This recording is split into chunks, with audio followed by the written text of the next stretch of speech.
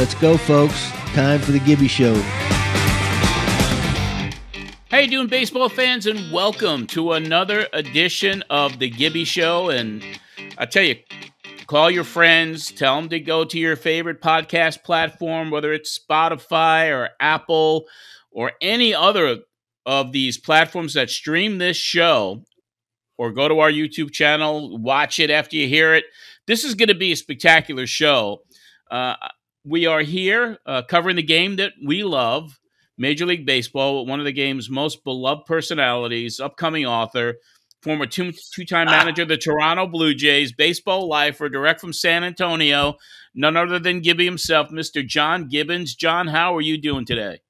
Johnny, I'm doing good. I'm look, I'm looking forward to it too. You know, we, uh, I always enjoy, you know, look forward to the show. And he got an old buddy, you know, one of the top uh, baseball guys in the game, uh, Alex Anthopoulos, Double A. Thank God you can call. He's got a nickname, Double A, because you got to pronounce that every day.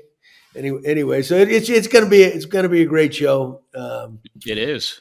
It yes. is, and, and and because you know this show and the impact of this interview, and it was more of a conversation, John. It wasn't even an interview; it was a conversation between uh, two friends who worked in different organizations together. Uh, it's going to be a two parter. So we're going to play part one today and then part two next week. Uh, because once you two started conversing with each other, it was just magic. So uh, uh, I can't wait for everybody out there to to listen to what you and Alex had to say to each other today. Well, you know what, Johnny? You know, there's uh, you know, we're, we're, friends more than anything, right? Yeah. But he, he, was also my boss. He gave me he gave me a second chance in this game. Mm-hmm. He really took care of my family and everything, you know. And but the, you know, there's some he he's he's a, he's a kind of person he, I admire because of what he stands for and, and and how he treats people and all that. So we, we we naturally naturally hit it off. We didn't always agree, you know. We had our battles, like, but that's okay, you know. That's I think that's what's missing from the game now, you know everybody's got to toe the line. Everybody's got to be politically correct. Everybody's got to do everything right, right? But no, if you want to get something right, sometimes there's going to be. It's like a marriage, you know. You get if if you agree with your wife on everything, you know what? It's probably a little shallow. Put it that way. At least in my family. There you go. Uh, we also have big news uh, for everybody. Uh, of course, we're going to cover uh, all the breaking uh, news uh, that happened with the Blue Jays this week. And of course, the World Series teams have been determined. so we'll be go- going over all of that. But we also have something special for the Ask Gibby segment beginning this week. it is Budweiser coming in to offer a really cool promotion for those who ask Gibby a question and because that's what buds do. And uh, we welcome Budweiser to that segment today. So that's going to be an exciting uh, thing to cover later on. Perfect. Perfect. But uh, let's go to the leadoff. I mean, there's uh, big news in baseball, but the biggest news uh, up in Toronto is the fact that uh, they don't have an interim manager anymore. They have signed John Schneider officially making him the manager of the team. Uh, Ross Atkins signed him to a three year deal with a team option uh, through 2025, a team option for a fourth year. So he could be there till 2026. So uh, the Jays got their manager for at least the next three years. And, you know, Johnny, that, that's good to hear. You know, I, I don't know what took him so long, but that, you know, Johnny must have. Uh, Schneid, Schneid must have a great agent or something. He was really holding out. He got uh, it, it, took it took so long. But you know, he did a tremendous job. He really did, and and uh, he knows those guys. They have confidence in him, and and uh, yeah, it's one of those things. You never, you know, these jobs are they're they're volatile. You never know how you're, long you're going to last. You know, and it all comes down to you, whether you win. You know, the guy that you know that we're talking to later, he'll tell you that right there. It's a production business as it should be. Um, so, but you know, he you, you you hope it turns into a long term relationship for for all of them, and uh, because Johnny's a good guy, you know. Uh, uh, so we wish him well. I'm yeah, trying to hopefully years get, old. Hopefully he'll come on this dang show, you know, and, and yeah, that and would be a great that would be a great guest. And so he could, he could tell us how much he's making. I could there I could compare go. what they paid me. If they're paying him more than they paid me, I got a problem. then you got a problem. You know some Italian friends up in New York, I think, right? Oh no, Irish man, I got the Irish. but he's 42 years old. He went 46 and 28 as the interim manager uh, when he uh, uh, got the job after they replaced uh, Charlie in July. And Toronto finished as the top AL Wild wildcard team, 92 and 70, swept out of the playoffs, as we all hate to say, but it happened. Uh, but uh, it looks like um, you know it's going to be an interesting time now for the Jays, and and here's a place that you've been before. I mean, you know, you're inheriting a coaching staff, and some of the guys that are on the team uh, as coaches uh, date back to when you were w- with the organization. Um, there's always those uh, rumors about whether or not major changes or adjustments are going to be made. And, you know, I know you like to talk about you want to bring your own guys in, and his coaches were inherited. So, uh, uh, what they're saying officially uh, Ross Atkins said that the process of selecting the coaches is collective, which means it's a collective decision based on, you know, the front office, the it, manager. But at the end of the day, also- go ahead. I mean, the end of the day, he said, he said it's the manager's decision.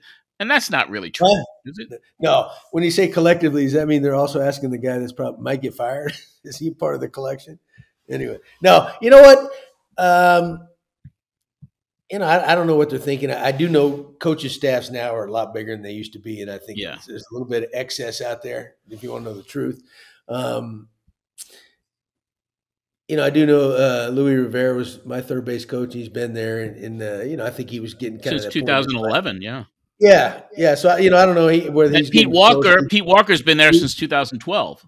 Yeah, but you know, Pete's one of those guys. Uh, you know, he, he's so good at his job. You, are crazy if you, you, let him get away, that kind of thing. But but yeah. in, in reality, does the manager select his staff? No. They may say that, but he, he doesn't. He may get one or two of his one. Now, if you're Bruce Bochy, which hey, I tip my hat to the Texas Rangers, that tells me they're trying to win. Man, this guy's got three three championships. He's selecting his staff as he should, right? Yeah. Okay. As far as like John Schneider or myself, when you know, when I started out and new to the game, no, that that doesn't happen. Like I said, they may tell you that, but I, I you know, and you know what? It's it's if you think about it, the coaching staff there, and, and Schneid was a part of that before he got the job. Pretty Bench damn coach. good, man. You know, I mean, yeah. to get to that point, they're all doing their job pretty darn good too. So whether there might be a little excess, uh, uh, but yeah, he played it down the middle in his press conference. He uh, says he thinks the current group returning is the expectation and hopefully everyone is back in some capacity. So um, he's uh, going to have some decisions, but you said the front office has to make those decisions as well, and it'll be interesting to see who stays, who goes, who's brought back in. Uh, but that kind of, you know, that solidifies the Toronto Blue Jays uh, uh managerial situation. And uh, before we get into covering uh, what's you know what's going to happen in the World Series, I had a question for you that's kind of related to all of this because uh, major league managers' jobs uh, are out there. Uh, there are openings, and uh, uh, we understand that you uh, took a trip down to Miami and got a call to talk to them about the Marlins job. So, kind of give us a little insight on what happened. If you you know as much as you could talk about it uh, I think everyone would be interested to know what happened down there in Miami with you and the Marlins. Heck, I went down there to Florida to do some deep sea fishing, try to catch some marlins or something. Oh, did you? Did you get a? Did you get a marlin? I caught nothing, man. I, I mean, I went down there with high hopes and you know some great bait, a great, uh, uh, a great boat captain. Nothing. No, it. Uh, yeah, I, I, did go down go down there, and I was excited about it. I thought, um, you know, one thing about the Marlins, they have a really good pitching staff, right? And, and, you know, I think they they definitely underachieved this year. You know, they had some key injuries. You know, that's that is part of it, but they they got a foundation that you can win with because of that pitching staff. And, and I would have th- I thought I would have been the perfect guy. I think they need a veteran guy, but it looks like if you, when you see their finalists, they're probably going to go with a first timer, which is fine. But I was well, that really could be, that could be a financial situation. That could be financial too because they they're not uh, they they have a history of really not spending. What do you think they couldn't afford me? Is that what you're saying? Well, I'm I'm saying that uh, your experience and what you've done in the game in comparison to the finalists that are that are currently up for the job, you're talking a big disparity in regard to experience and and you know and and probably a financial commitment to somebody, uh, which would be at your level. I mean, well, I don't know about that. hey, you know what though, Johnny? You know what the what they pay actually pay managers you know, you top end. I'm sure you know Bochy's. Well, it's a fraction of the players, yeah. Right, and in in uh, the difference between a first timer and a guy that's been around in certain spots, it's probably not that much. If it, it, and it shouldn't really matter. It depends, you know, if you're trying to win or you're trying to do things. But you know, they got a good list there, and, and it's kind of you know they have the. Uh, you know the fair hair boys and the names that are being thrown around in baseball the last few years about the next managers and uh, but I, I, was really impressed uh, you know Kim Ng down there you know brought me down there I, I really liked her and, and I think she's you know doing a great job and in her, yeah. Supporting cast in the front office really good people you know and, and I, I, enjoyed it and um, you know but they're, they're going to go a different direction I respect that yep well I'm sure that uh, so I ain't ever going deep sea fishing again I'm going to go in the back bays and fish for redfish and trout for crying there out loud. There you go, right? Your right your backyard, my friend. Exactly. But uh, yeah, I mean that was interesting because that circulated around, and uh, we we felt that we really had to ask you about it uh, just because of the people that listen to this show each and every week. Um, and uh, they got to deal with me now. What, happens at, at all, what happens at all of that is now we get to keep you longer here. Well, I don't know if that's good or bad. No, I think it's going to be good. I think it's good. I uh, think each and every week, the people are just loving uh, hearing your insights about the game and. Uh, and, well, we got a good show, man. You know, and the really conversations, man. The conversations are wonderful. We do have a good show, and hey, listen. I mean, uh, uh, you know, we have World Series coming up beginning uh, this week, this Friday. The teams have been determined, and it's a surprise in one way, and maybe not that much of a surprise in the AL the ALCS, the Houston Astros uh, swept the New York Yankees four games to none. They won uh, the final game in the Bronx in front of a very disappointed crowd, uh, winning six to five. Um, Astros uh, now uh, four out of the last six years in the World Series. So you got Houston, uh, who are favorites. They were favorites in the beginning. What a great team! What a well-oiled machine they are. Yeah, you know, Johnny, they're, the, you know, well, obviously they had the best record in American League. You know, it was three months ago, I think, we know when the Yankees were being talked about one of the greatest teams ever. And, you know, I think they, in the last month or a couple months, they were like 500 basically. They had some key injuries and, and all that. But, you know, the Astros have been the class of the American League. Uh, they have. And now they kind of put themselves in a different category. I think, you know, if you look at it, you got the Astros, the Dodgers, right? And the Braves you know, that, that are viewed as the top teams and they get there every year. So now, now it's it's like the old Yankees under George Steinbrenner. You know, they, I don't think they necessarily judge them like that anymore, but I think the fan base is a little bit fired up. But it's like you get to the playoffs every year, you're ex- almost expected. You got the resources to do it. That's not good enough anymore. You know, it's now it's all about winning the big prize. You know, the the, the championship. So the Astros are kind of in that spot now. I think they won one. that was the year of the cheating scandal you know, getting there is not good enough anymore. You know, they were there last year and the Braves beat them. Same way with the Dodgers. You know, the Dodgers, you know, they've been there how many years straight or get to the get deep in the playoffs, but have only won one. You know, that's uh so you know when, when you're that good, you put yourself in a different category, and that's when yeah. the pressure starts because nobody cares if you make it past the first round because that's not good enough for you anymore. Right. Well, I think uh, Jays fans and Mets fans would love to just be in be in this situation right now. You know what though? Hey Johnny, it was kind of I don't know if it's funny, but you know I've been raving about the American League East, right? In the, yeah. in the and now it seems you know it's now it's the National League East.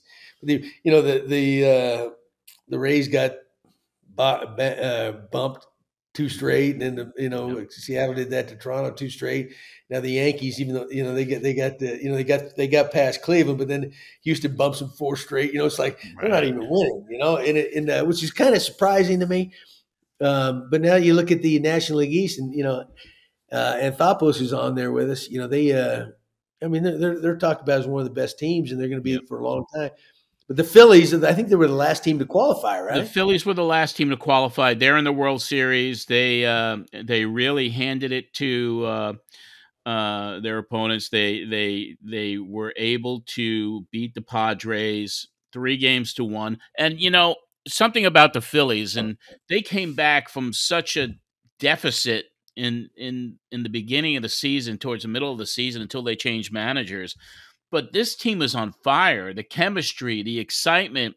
I mean, when you look at Bryce Harper hitting like the home run of his career to give the Phillies the lead yesterday in the eighth inning, I mean, I I was, uh, and I'm a Mets fan. You know how deep I bleed oh, orange and blue, gosh. but I couldn't bleeding. help. I couldn't help but get excited about seeing the Phillies and and just I kind of fell in love with the team, and I, and that's a that goes against anything about being a Mets fan. But I am I am hoping that the Philadelphia Phillies win the World Series this year. I love the team and I love what they've done in the second half and in these playoffs. Uh, what fire in their bellies, all of them. Oh yeah. Well, you're a National Leaguer, dude. I'm an American Leaguer. That's, That's true. That's true. What the, the Astros are always going to be National League to me. Oh, that's true. Yeah, good point. That's that's a good point. It should be a good series. You know, you know the Phillies are riding on emotion. They, you know, they, they got they got great talent. Yeah. But it really, you know, Rob Thomson's done an unbelievable Oof. job. Yeah. You know, and, and, Girardi's a good baseball guy. Yeah. But but but something that was like a breath of fresh air. They, they, or something happened. You know, when when after he got let go, and that's what you know that does happen in, in sports. But Tom's done a great job holding together, and it's kind of freed him up.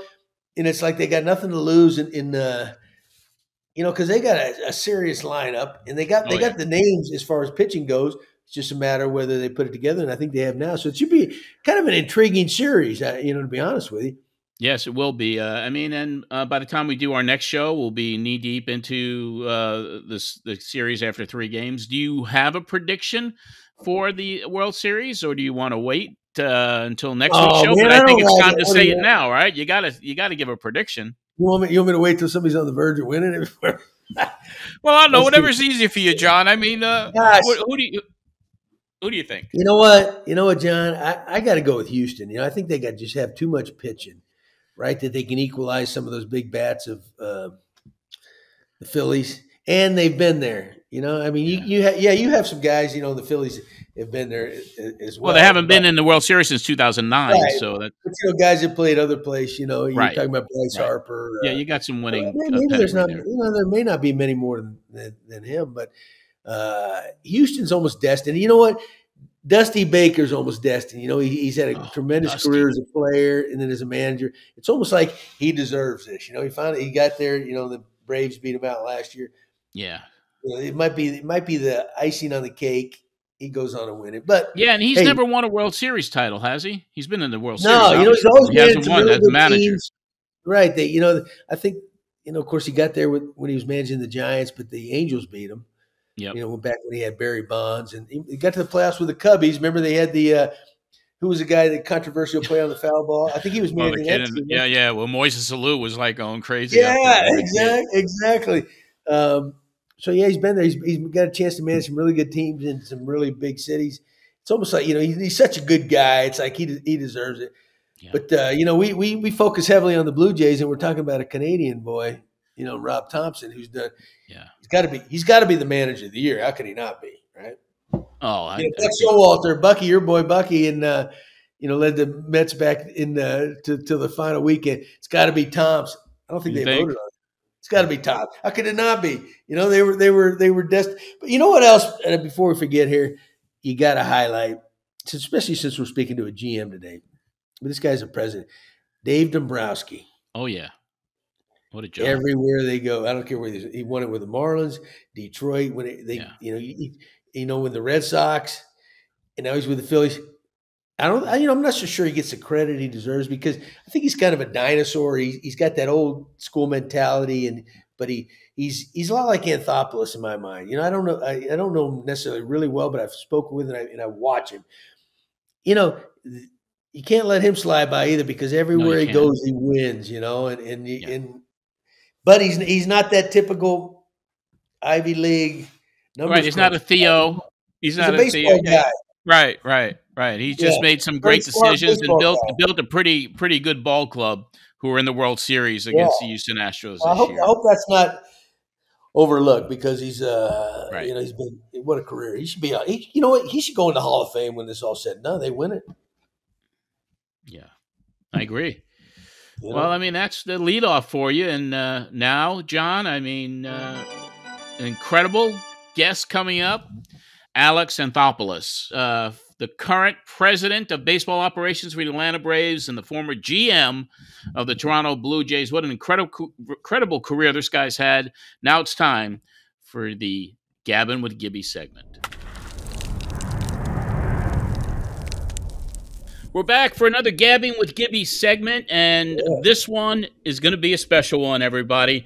John has done it again. Uh, we are bringing on for this segment uh, one of the foremost baseball executives in this game, a guy Gibby knows very well. They go way back. He's the former GM of the Toronto Blue Jays. He's now president of baseball operations for the 2021 World Champion Atlanta Braves, Alex Anthopoulos. It's going to be a great segment. Alex, welcome to Gabbing with Gibby. Glad to be on. I, I think gabbing's the right term because speaking coherently with Gibby definitely wouldn't be the title I would use. so I think gabbing is well appropriate. Great job, guys. Hey, hey! When he said president, are you that, uh, really? Are you? Is that your title, the president? It's, I mean, it's just a title, President Baseball Ops. Damn, I you know I, I GM, same thing. It's the same job. We just keep changing. Hey, I was a bank teller, but they call me a customer service representative. It sounded better than bank teller, right? That's how the world works. Hey, well, hey, I, I know uh, personally, I'm excited to have him. You know, we go, we do go way back, in, in uh, uh, more than a professional relationship, we're friends. And uh, you know, Alex has been really, really good to myself and my family over the years. He gave me, uh, we got to know each other my first go round in Toronto when he was an assistant. Then when he took over, he gave me new life. You know, and we went back, we went through a lot of ups and downs and some battles together in the and finally everything kind of came together after 22 years for a city and a country. And uh, uh, you know, Alex is uh, you know the friendship stuff out. One of the best baseball minds out there, but more importantly, uh, he's just a good guy. He's a great guy to work for because he'll listen to you. He, he knows he's got to make the decisions, but he'll listen to you. You know, and not. I can tell you, everybody out there doesn't do that. So I tip my hat to him. But, but okay, so so as far as all the lovey dovey stuff, let's get now down. you get to the real stuff. Get Soften me up. What do you think? Hey, what, what, check out the baseball. I mean, what's your nat- naturally? You guys have a hell of a team, right? We all know how the b- baseball works. You know, you, you you can get into the postseason and somebody's hot, and that, that's that's the way it goes. But you you look at what you did last year, and you look at what you, your team accomplished this year. What's your take on this whole thing, though? I mean, is uh, What's your take? Yeah, I mean, look, obviously, um, it's my. I'm trying to think now. Five seasons in Atlanta playoffs, but so one in Toronto, two in LA. So I guess eight, eight in a row, which is awesome, you know. And I definitely yeah. I remember the five in a row that I didn't get in as a GM. So, um, and I remember that first year when we did get in. Russell Martin in the clubhouse was like, ah, ho hum. I'm sitting there thinking, how is he not excited? You know, and you can take it for granted if you're not you're not careful, but um, I mean, look, the teams that all get in, they're all good teams, right? So you look at the Phillies, they have a ton of star power. They have a lot of great elite players, and they played great, you know? And we just got beat, and that's just the reality of it.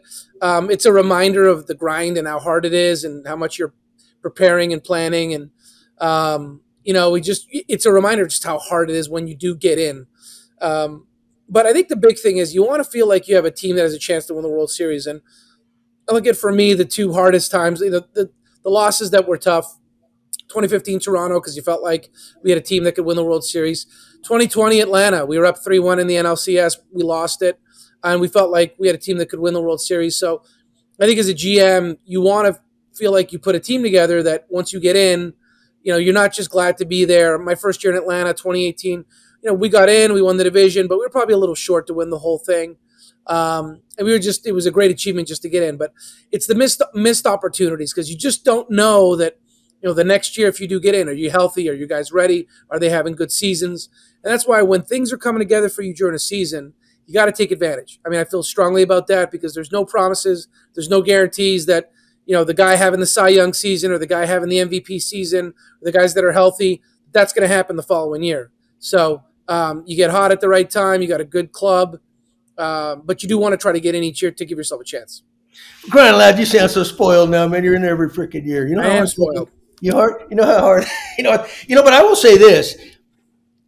You know, uh, I, I, worked for you in Atlanta. You know, uh, and, and, so I know I know about that team. But you guys, the Braves, the Dodgers, Houston, and somewhat the Yankees, right? Okay, you got you guys have like. Uh, you know, it's almost like it's a not a given. It's not that easy, but you know, exp- uh, teams or the baseball world expects you guys to get in every year because you know you've proven something, you got good teams and all that.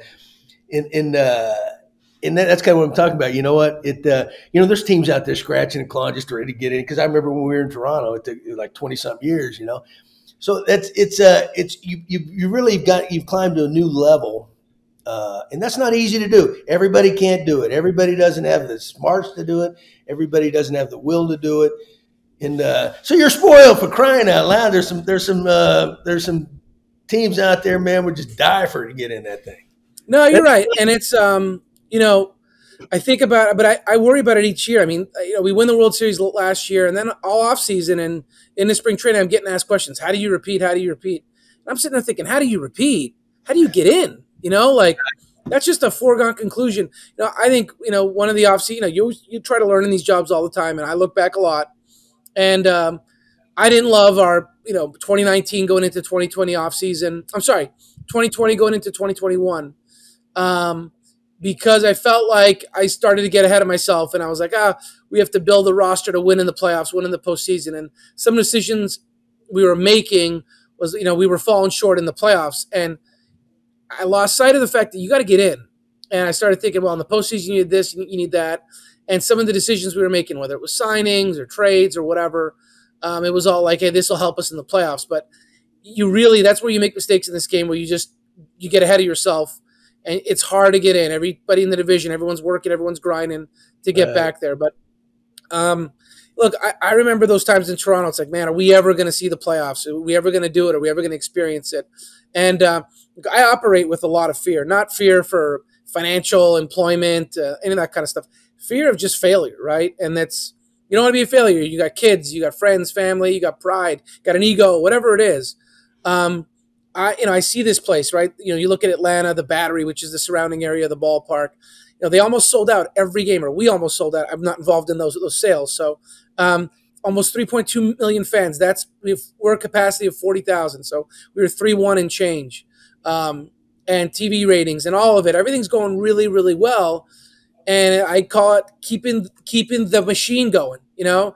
And I feel like there's a lot of pressure and stress that we got to keep the yeah. machine going. And if we don't have a good product out on the field and we don't make good decisions, the whole thing comes to a halt, right? I mean, people want to come see a good good product, so um, you feel that stress and the pressure to be able to get back.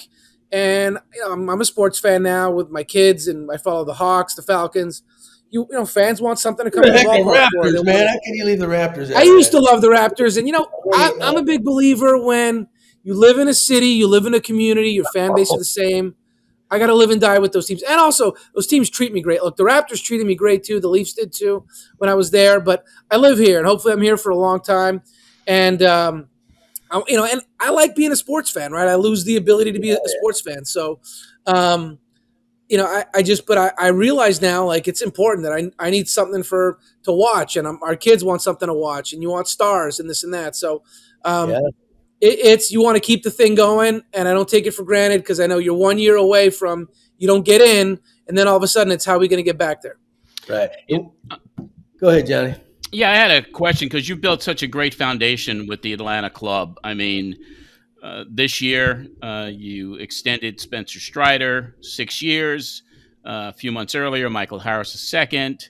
Uh, Matt Olson, Austin Riley, all of these uh, long-term agreements that, for players that are at a young age, and also you have Ronald Acuna Jr., Ozzie Albies. You, you've got such a foundation of guys that are going to be Atlanta Braves for many years. So is that part of your strategy and philosophy?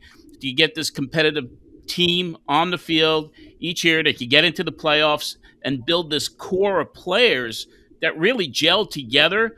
Uh, it was a wonderful team to watch this year, even though they spanked my Mets. Uh, but uh, I, I, like to know your philosophy on on the strategy of, of signing all these guys up to extended contracts.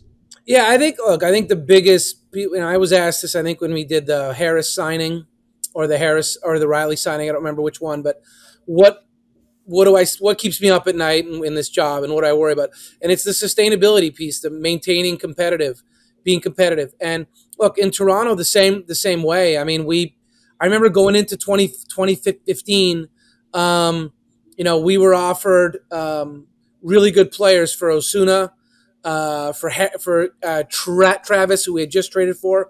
But Roberto Osuna was a, a, young guy with big upside in high A. He hadn't made his debut yet. Uh, Travis is a guy we had just traded for. We love the bat, long term middle infielder for us, the way we viewed him. We could have got now pieces to help us, and we didn't do it. I was going into the last year of my deal, but you always operate like you're going to be there 10 years, 20 years. And even at the trade deadline, uh, we had made those moves. We were trying to get J Happ as a last piece. Uh, we had spent all of our money. Um, we still had the Vlad Guerrero Jr. signing that was to come, and that was going to be $6 million. And we easily could have taken that money and gotten J Happ. You know, he ended up getting traded to the Pirates because we couldn't add it salary. I remember we were talking to Seattle, and uh, we just were tapped out from a financial standpoint, so we couldn't add salary. Um, we could have easily said, "Look, Vlad Guerrero Jr. at the time, we didn't know he'd be a, an MVP candidate and so on, but we liked him a lot." Uh, we could have said, "Look, we're gonna for, forget the signing. We're in the moment. We're in the now. That's four or five years from now. You know, let, us go take that money and go put it in, into the team trade deadline." And we didn't do it. And even um, I remember we were talking to, to, Oakland about Ben Zobrist at the time, and um, guys like Boyd, uh, Liam Hendriks, R- Rowdy Tellez. Uh, those guys were all names in that deal that were being talked about. Tellez was a guy at the time just didn't want to move because we didn't know what was going to happen with Bautista Encarnacion. Bats, you know, Tellez had power, had on base skills, was a left-handed bat. We wanted to hang on to him, so we didn't trade him. Ultimately, we used some of those guys to get price. But so you know, you come to Atlanta now We've got a really good team, and you know I don't want to be in a position that we have to look at trading these guys a year or two from now because we're not going to sign them and they're going to be free agents, and we have to try to um, you know get value back and not allow them to walk out the door for a draft pick. I think from a subconscious standpoint, growing up a big Montreal Expos fan and seeing all those great stars leave, that was tough as a fan. You know, you get attached. We had a good team with the Expos, and um, you know, and you see all those guys go. And in Atlanta now, from a payroll standpoint, we're in a great place. From an attendance standpoint, we're in a great place. There's no reason for us to not keep these players if, if they, they want to be here. So, um, you know, we, we, we're doing them earlier than we want to. Ideally, you wait longer, you get more information, and so on. But, you know, we made the decision that the time to do it was now. We didn't want to take any chances that things would change or guys might want to hit free agency and so on. And um, as long as they wanted to be here, we were going to try to get de- deals done. I wanted to touch on the Expos for a second because you you brought them up, and obviously you're an Expos fan. Uh, because I've I've been when I look at your career and I've seen incredible things that you've done. You started out as an unpaid intern sorting player mail, and then after you do that job, you go sit with the scouts and take notes. And it led to an internship as uh, as a scout for the Expos. Uh, you moved up the ranks and hired as a, a scouting coordinator and then you left for the Blue Jays after the uh, 2003 season. Tell us about those early years and what drove you uh, throughout your career as an executive in baseball. Yeah, so I mean, I, have told this story a lot, but you know, I was um, just before ten days before I turned 21. My father passed. He was an engineer. Had come from Greece. He went to McGill, um, started a heating and ventilation company, small one. But uh, know, just before I turned 21, he he he passed. I started working there, and I realized two years into it, this is not my thing. I didn't take engineering. I didn't enjoy it. Um, it was heating and ventilation for airports and malls and big commercial buildings and so on. Um, and it just was boring for me. And I just I remember being 23 years old, thinking, "Am I doing this the next 45 years of my life?" And um, I just I, at the time I'm not married, didn't have kids. I'm like, I don't care about the monetary side. I want to do something I love. So I knew baseball something I loved and I wanted to pursue it. So I started just banging on doors. And the only internship the Expos had at the time was unpaid sorting players' mail, but there was no, uh, they didn't really have a plan for me. They just kind of gave me a pass and credentials and shoved me in the clubhouse and said, go ahead and find your way. So even though I was capable of more, I said, I'm going to be the best uh, fan mail guy they've ever seen. I, I, got myself a roller and set it up and, and did all that. And then from there, the media relations guy quit. I was there. They gave me the opportunity. I kept my mouth shut. I worked hard. Then an internship came up in Florida in international scouting. I did that for about a year and a half. But I always used it as a vehicle to get better. So when I was with the Expos uh, doing the media relations job, I when I was done during the games, I'd sit behind the plate and watch games and write reports and show them to the scouts. When I went down to Florida, I'd go watch A ball games. I'd go watch guys for the draft. I went to the Dominican. I went to Japan. I went to scout school. Um, I'd get all the Yeah, VHS man. tapes and CDs and all that stuff. But I wasn't doing it to like get ahead. I loved it. I couldn't get en- enough of it. And I love the evaluating side of it. Even to this day, uh, scouting for me is the thing I enjoy the most. It doesn't pay as well as being a GM, but um, I love scouting. I love going to the park and evaluating players and so on. So, um, you know, but being with the Expos was the best thing that could have happened to me because I wore 20 hats because we had a really small staff and I got exposed to everything. I got exposed to development and so on. And then, you know, uh, the Expos were being talked about. They were going to move. I wasn't convinced that I'd be able to work in the United States. So when Toronto called to, you know, have me go work in scouting, I jumped at that chance. And um, from there, it just moved fast. Two years as a scouting coordinator, four years as an AGM, and then I got the GM position. But everything always came sooner than I expected it. Um, I was, you know, I was just, I was just happy to be working in sports and having a job that I enjoyed. And I knew what the alternative was, right? I knew the alternative was to do something I didn't like, and I was grateful each day to to get up in the morning and like what I did because I knew that 99% of the people out there don't enjoy what they they, they do, and I don't think there's any amount, amount of money or anything like that that'll certainly solve that. So. Um, I just believe if you love what you do, I know it's a cliche, but you should have success in the long run and you, you should thrive, right? Because you do love it. And I remember I'd come home at night, I'd watch videos and this and that. I couldn't wait to be in the office. I'd go Saturday, Sunday, just because that's where I wanted to be. So I tell my kids that all the time find something you adore, no matter what it is, no matter what it pays. And in the end, you should get to the top. Yeah, you know, hey, you know, I can vouch for that twenty four seven. I used to get these freaking calls in the middle of the night. I'm going, anybody, anybody sleep sleep around here? But hey, I, this is what I'll tell you about professional baseball that I know. My experience. I've been in a long time, right? You get to the top. There's certain guys. There's certain general managers. There's certain managers, right? Some guys just love the job. They'll, you know, they'll do whatever they do. You know, it's it's a great living. It's all that. Alex, Alex is this way, and I can say myself this way he was he wasn't in it for that. He was in there in it to win, right? And obviously, said it wasn't good enough just well, I'm big, I'm a, a, big league GM, right? Or I'm a big league manager. No, there's more. It's more to it than that, you know. Because you do, you make a great living. It's it's about winning, but I don't think necessarily all of them are obsessed with that. But uh, I, I got a quick story for you because when Alex. JP Ricciardi, you know, in uh, hey Johnny right here in the middle, he was roommate, me and JP and uh, Oh man, that must have been hilarious. oh JP yeah, we got great humor, the one-liners. We still talk about him to this day. Some Hey, of his. two, hey, two Italianos, man, going like that with Oh, two yeah. Irishmen. We're two Irishmen, the other two. But anyway, so I'm the I'm the manager. JP brought me over to Toronto, and uh, and Alex was one of his assistants. There was two assistants, right? And so after the games, you know, the beauty of baseball, and I think some of it's lost now that it. Uh, you know, the G- GM would go into the manager's office and you talk you talk about the game, right? Strategy. And there's you know what? The the GM would ask you, you know, what are you thinking here and there? And, and you and you know, you, you explain things. Now, you know, we can get offended. Managers can get offended sometimes. There's, there's no doubt about it. So anyway, we'd go in there and it'd be I'd be sitting there, and maybe it was after a crappy game, so I'd or may, I mean, I made a stupid pitching change or something, right? And I, and I, I probably knew it. And then there was there was uh, one of JP's assistants. There was Alex's other assistant, right? They'd come in there and. and and JP was we'd start we just talk baseball, talk about the game, and JP would ask questions about the game, right? And so, uh, you know, he'd ask it. He's a, he's a general manager. He's got every right to ask, right? He should ask, right? But then this other guy, I'm not going to name names, but he's no, uh, I don't know if I can remember. He would ask me some questions. I'm going, it's it was irrelevant to what, what. I'm thinking, I don't remember. I'm going, wait a minute, wait a minute. You know, I, I can take, you know, I can listen to the GM, but I, you know, I, unless this guy can make sense. I mean, that wasn't Alex. So, so finally, I told one day I told uh, JP, I said, listen, I said, you know what? You come in here all you want. You're my, you, you're my boss. You, you talk about baseball. You know, that other guy's got to go. Sorry, I, I will not take another question. Blah blah blah. So, and so what he had to do. So Alex got lumped in there with with the, the other two. So they were they were they were so so uh, so then I I'd didn't mind though, but I, I I knew to keep my mouth. Look, there were times JP would just you know like you said he was a very like you said hot blooded Italian and during games this and that and he might go into the office and close the door and I'm like I'm I'm staying out, out of the way.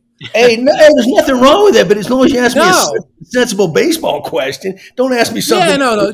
JP So was like about, right? very in tune with so all it. so then I used to see Alex. He, he'd just be down in the clubhouse. That's why he was just absorbing everything from everybody. And I'd see him. I say, "Come on in, man. Let's just talk some baseball, right?" So that's one thing.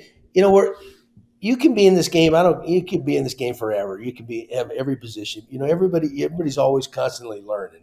I was continuing to learn. Alex was learning. We just come in and we bounce things off each, other. And I think that's one of his greatest gifts that I, I think a lot of uh, executives miss now is the interaction and the constant. Uh, not the nut they know it all. That I'm not, not referring to that necessarily, but they they Alex was very good about asking other people their opinion or something, right? And you know, because that's important. That's important in an organization because you know you might learn something. You, you know, we can sometimes put blinders on in this game. We see things one way, and you get somebody out here that, oh, okay, it might wake you up.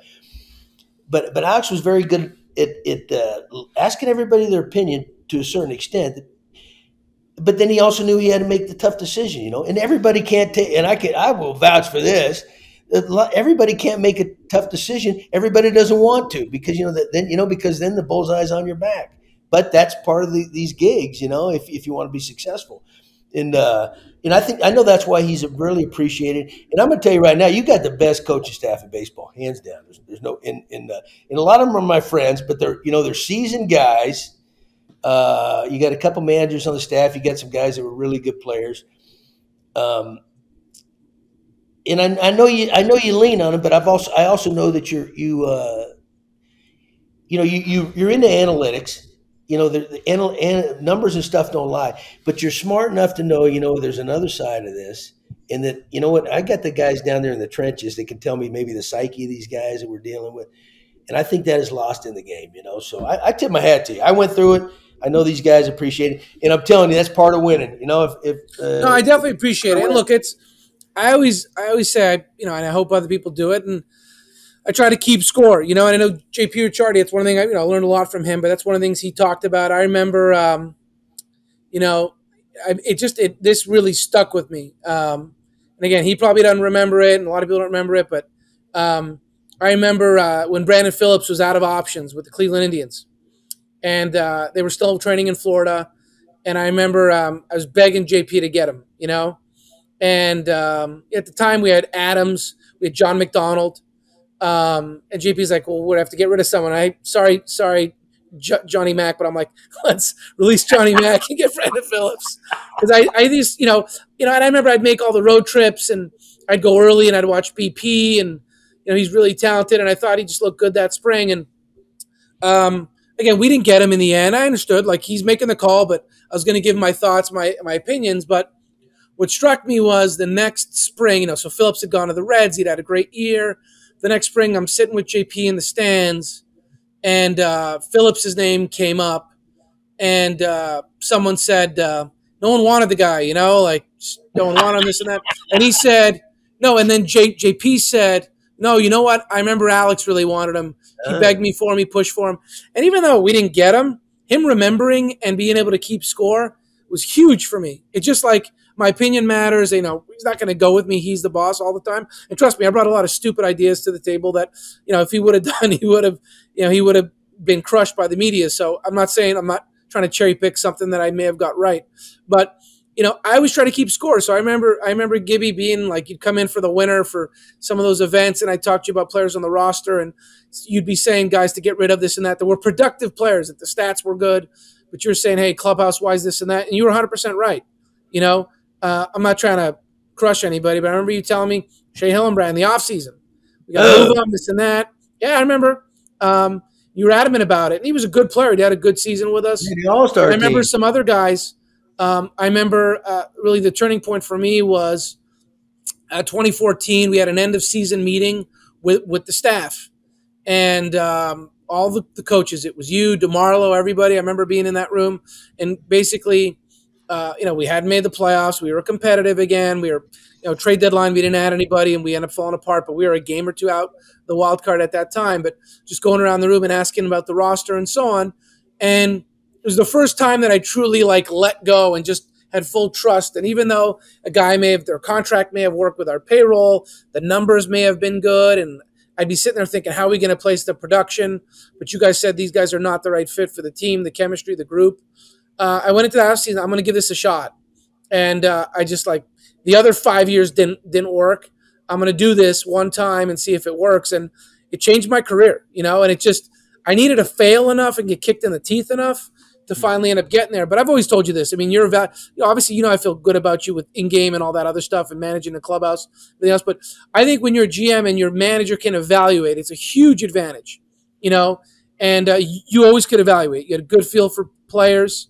Um, and yeah, we joke around and this and that and all that kind of stuff. But your content was always really, really strong. And I keep score, right? Just like JP kept score at that, that time. And to this day, I remember um, there's examples of here when I'm in Atlanta. We make decisions. People may be on one side or the other. I'll remind people that made, you know, I may make a decision, but I'll tell them, hey, here's why.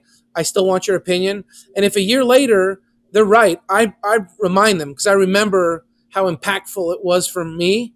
Um, and I remember even when we signed Jose Bautista to an extension, we weren't feeling great. It was a little scary, you know, half the group was in, half the group was out. It was a lot of money. He was older, and the group that was out on it, I, I remember sitting them down, say, "I value your opinion. I don't want you to, you know, not. I want you to keep bringing what you bring, but." Um, yeah, I think it's important. I think you need to have some type of competitive advantage. We all have the data. We all have the information, the people you're around. But again, Paul Beeston told me this. Not everyone's vote will count the same, right? So it's up to you to know where everyone's strength is in what areas. So just because a coach likes or doesn't like a guy, you have to, you as an evaluator have to be able to evaluate your own staff and know who to pinch. And the same thing with you, Gibby. When you have a staff, you got to decide who you're going with or not. And uh, I think it's a critical part of this job.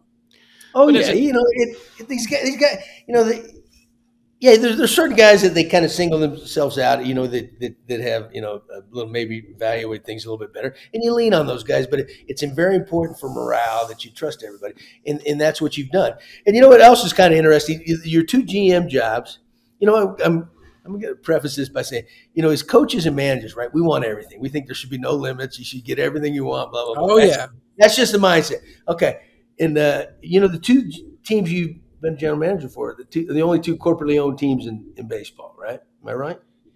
Yeah. Yeah, but I'll tell you this: I think it's a great thing being corporately no. owned because you don't have an emotional person saying, "I was at a party and this guy," or they they see guy making an error or walk guys and they want you to trade him. And I think having corporate ownership is is great. Now, from our standpoint, Terry Terry McGuirk's the control person. Uh, so he's you know he has the full powers of the owner, but he's great because he's been in baseball for so right. long and he understands the position and he understands you're not going to bat a thousand and he's phenomenal to work for um, because he realizes it's not always going to going to work out and he's very supportive, which is what you need, right? You know when things aren't going bad, you're getting pounded. Paul Beeston did a great job of that too. You lose five in a row, six in a row, you see his name come in on your phone, you're thinking, oh boy. And uh, it's actually the the uh, it'd be completely the opposite, right? when things were going poorly, that's when he would pump you up the most. Or, you know, we were going bad, and I'd say, "Oh, we're facing Verlander tonight," and you're you're sitting there thinking you're down a dumps. He'd be like, "Is Verlander? Is he undefeated?" I didn't think he was, you know, and he was always glass half yeah, he was very good about and that. I think it's key, you know, and you know, and Terry here is the same way that when things are going bad, it's easy to you know to pile on. You're getting it already from media and fans. Having people you work with be supportive is huge. Right. Yeah. But my point is, though, it's like we as coaches, we think, hey, go out and get this dude. Well, it's not always that easy, you know. Team, oh yeah, oh yeah, yeah. It's a, budget, it's a lot. limitations and all that, and uh, but we can sit back there and say, "What the hell is he doing, man? Is he going to do anything? What have you, you know?" And, and, uh, and he, obviously, you got to figure it out. You know, I don't think we ever totally figured it out, but obviously, you know, your track record speaks for itself. Wow, that was uh, very cool, John. It's going to be a two-parter. That was part one. Excellent, man. Hey, that boy can talk, man. I thought I talked a lot. Alex can talk. Yeah, that was uh, fabulous, and I'm sure everyone's going to be talking about it. But now it's time for the Ask Gibby segment. Uh, some exciting news here uh, at this segment. Uh, beginning this week, if we select your question here on the podcast, you will receive a gift package from Budweiser. If you want to ask Gibby a question and have a chance to receive this gift package from our sponsor, Budweiser, because that's what buds do, just send your questions to us at AskGibbyShow at gmail.com or the Twitter hashtag AskGibby. All right, our first question is coming from Twitter. and it's John Eaton at Johnny Creative. Hey, Gibby, back in the day, did you ever get Alex to tell you to make certain calls on the field, like it seems happens today, or were you pretty autonomous? well, hey, the times, you know, it's what I, I you know, I, I said earlier in the show.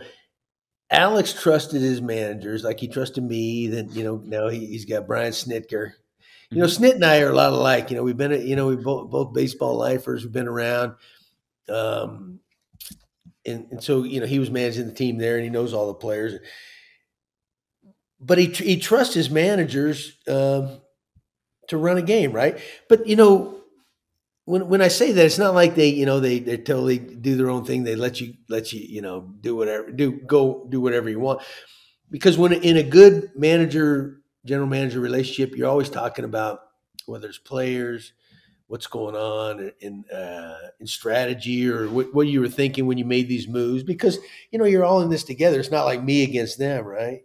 Um, so but you know when when the when the game comes i mean you you know it's not like the gm's up there in his box put, picking up the phone going hey make this move. I think some people think that sometimes. But there is i've heard some stories about certain teams have analytics guys that are kind of on their peripheral that are right on the field yeah, right close. And I thought that was illegal. Maybe I'm wrong. I don't know, but but they may say, hey, you know, the, the, I guess they track the game, the inning, whatever, all that stuff, and kind of I don't know if they pass on some info. But no, he never did that. He doesn't do that now, I'm sure. But he one thing about Alex, he understands analytics. That's a big part of his. But he also understands the human element, and he and he knows Brian Snitker. He knows John Gibbons. I hired them to do these jobs you know, hold them accountable. If I don't think they're doing the right job and the team's not playing well, you, you deal with it. But no, I, I think you know what. There's a perception in the game today from the fans yeah, and from but I think that, it does you know, everything happen. is being dictated by the GM or the president of baseball operations well, telling them what to do. I think a lot of it is in in certain places, and um, you know, as far as but in your case, it didn't happen when you were. No, I you know what? To tell you the truth, I wouldn't allow it. I sorry, I couldn't do that. I, I would have had to say, you know, you know, you probably need somebody else, man. You know, take take the analytics guy in your office, just put a uni on him, man, or make him like uh, who was it? Uh, was it uh, who was the old famous owner? He, he wore a suit in the the dugout. Uh, Connie Mack, wasn't it? Connie. Connie yes, Mack? Connie Mack wore the yeah. suit and the, and the hat. It. Yeah. Take one of your analytics put, guys, put him in a in a suit, let him sit in the dugout, and then there's nothing lost in translation if that you know if you're going to run everything right. that way. But right. that's that's there you, there you go. A good answer, good question. And we have the second question uh, for Ask Gibby today. This one is coming from the Gmail account, askgibbyshow at gmail.com. This comes from Sarah underscore Lee, and she wants to know what your favorite ballpark is and why, and a bonus for mentioning any games that stand out at that ballpark. Well, you know what? Fenway Park, that's my favorite. Frank, Fenway Park in the old Yankee Stadium, you know. The, yes. And I, I, think a big part of that is the history of both those places. But I got to say Fenway because, well, it naturally it's still active. You know, just the atmosphere. You know, my roots are from Boston. You know, shh, I don't tell my mom and dad are born and raised in my blood. That's that's the uh, the bad guy in me. But you know, there's just you know, there's just something about it, Johnny. You know, the configuration of the place, the, you know, the famous green monster. There's yeah. The fans are into it. You know, what? they're very knowledgeable. It's not. It's not like the fans just rag you. But Boston fans, man, they, they, they know what they're talking about. Some you might get somebody to get some somebody just ragging you up there, and you go, "Damn, that dude knows what he's talking about." It's kind of like when I, I our first show when I had Donaldson on there. We go to the meet at the mound, and Donaldson would say something about strategy. I'm going, damn, he knows what he's talking about, but shut up anyway. You know, same thing with these Boston fans. They know the numbers, man. They know stats. But that's my place. And there's and last thing, because I know it's a special place to you too, you know. But there's a there's a long hallway that leads from the clubhouse to the dugout in Fenway, right? Mm-hmm. There's like green mold and everything all over. It's like back when you know Mickey Mantle was running there, spitting on the floor and all that. So the, that that kind of thing, right, just excites me and I love it. And, and um, you know, and I and I know to you though too, right? Because yeah, you know, it, it, uh, for me, I have to say it's the it's my favorite park as well. And I've been to so many major league parks. Uh, I was at the old Yankee Stadium when I was a kid, and I saw Mickey Mantle play. And but Fenway, I went to school there. I went to college uh, up in Boston. I lived in Kenmore Square, which was right around the corner. Yeah. Uh, and my first year was 1975. That was the year of uh, the Sox getting in the World Series. What a what a first time experience and being in Boston. Uh, we would we would actually before they put the big scoreboard up, we would a, we'd be able to watch the games from the roof of our dormitory. That's how close we are. That's awesome. And, it was like incredible just to be in your dorm and hear the crowd. And I just love Fenway. Uh, and my my uh, greatest experience as far as being at a game at Fenway was in 1978. It was the Bucky Dent game. It was the one game playoff, and I'm telling you, um, that place was electric until that home run, and and then it sucked the air out. But Fenway, to this day, is still my favorite ballpark, as it is yours. Yeah, and you know, Johnny, the funny thing, I, and I say, say this to everybody, it's like because you, you, I think I, I'm I have a right to say it because my my family's all Bostonians, right? like you know for, for the longest time till they what was the year they finally won it won it all you know they they coughed so up so many and i was with the 86 mets your boys when Yes. they coughed that one up too right Uh, Yep. but they, Yep. i don't remember which year they finally won it and i and i always say to everybody the worst thing that could ever happen to red sox fans is that they finally won it because now they got nothing to bitch about They got Bostonians, man. That's you know that's my family. It's like, but no, but they still obviously they still find something. But you know, one little uh, one little quick thing too. In eight, 1986, you know, when the Mets did beat the Red Sox in the World Series, they used to have a Jimmy Fund game. You know, Jimmy, they're the big Right. sponsors of Jimmy Fund for you know the kids with cancer and a lot of different you know, charities. And so we, as the Mets in '86, went up to play. It was like in the beginning of September to play the Jimmy Fund game, and that's the only game I ever got on the field at Fenway Park as a player. wow. Got to catch catch the end of it, you know. And uh, so I thought, wow, this is this is pretty cool. We, of course, we ended up beating them in that game too, the charity game. But you know, it kind of predicted the, the future. But it's a it's a it's a special place. It, it really is, and um, you know, there's so many great ballparks out there. But I think you and I kind of feel the same thing. We're, we're you know we're baseball lifers, and it's kind of history matters, you know.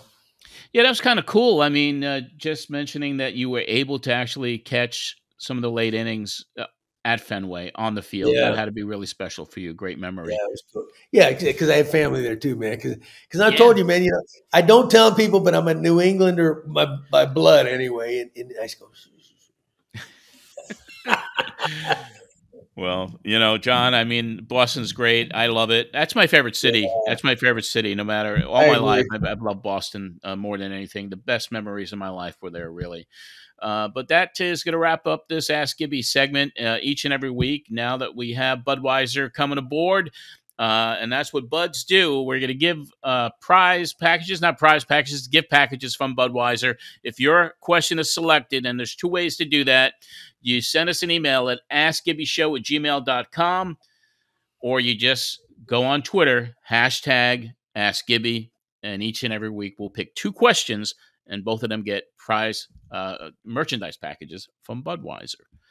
Uh, Nice. John, that's uh, a fabulous show today. What an exciting show. Alex uh, was phenomenal with you, and uh, can't wait for part two next week so everyone can hear that. But uh, great show today, my friend.